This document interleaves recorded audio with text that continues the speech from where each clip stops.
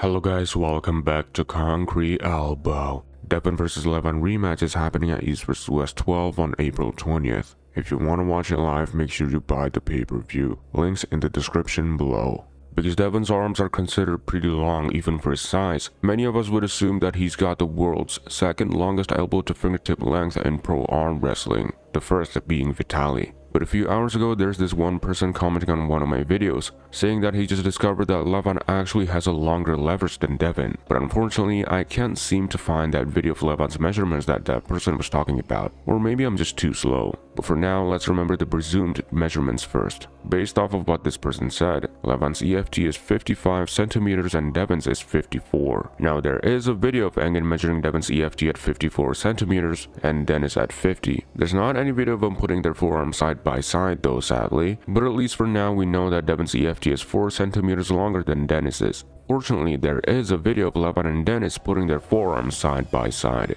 And look at this frame. Levan's EFT is significantly longer than Denis's. FYI, Levan's middle finger is 14 centimeters long, while Denis's is 11. Igor already measured them both. So if you're telling me that Levan's EFT is 5 centimeters longer than Denis, which makes it 55 like what that person said, I think that's very believable. The numbers do make sense. I mean, even Devon also said on one of Engin's podcasts, I think, that he and Levan pretty much have the same elbow to fingertip length. It was also pretty clear in their match in 2022 that neither of them was reaching for anything. And as a bonus, Devon's hand length is 22 centimeters, based off of Engin's measurements. Levan's hand length measurement is currently not available, but here's Devon's hand compared to Vitaly's, and here's Levan's hand compared to Vitaly's. So not only elbow to fingertip, but their hands basically have the same dimensions as well. So no one's resting in peace this time, because for now, both got equal points.